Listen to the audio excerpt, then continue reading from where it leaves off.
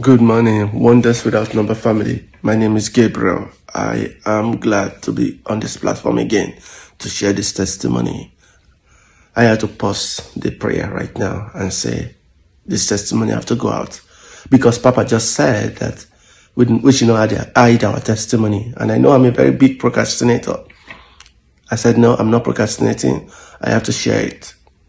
God has done big things for me, from favor to financial breakthrough to blessings every year and there. In my place of work, in my finances, in my academics, in my career, He has been blessing me. But this is important to me. Last year, I received this letter. This letter says termination of conditional residence. Of course, I took the sensitive information away. Ah, by immigration, United States immigration. They said, leave our country. Guess what?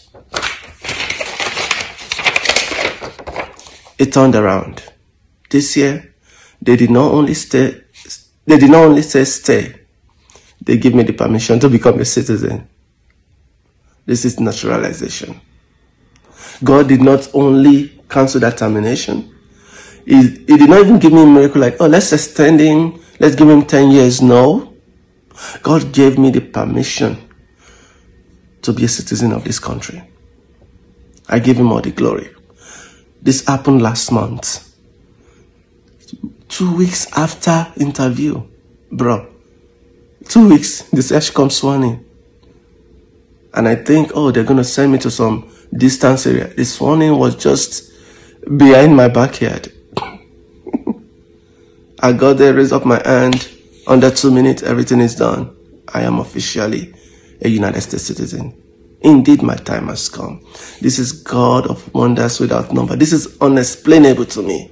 Someone that should leave the country last year now become a citizen. It has been through prayer. It has been through this program that God has restored me, restored my status in this country blessed me financially, gave me a roof over my head, gave me everything that pertains to blessings. I give him all the glory. Thank you, Jesus. Thank you, Daddy, for this program, for this platform. Indeed, my time has come.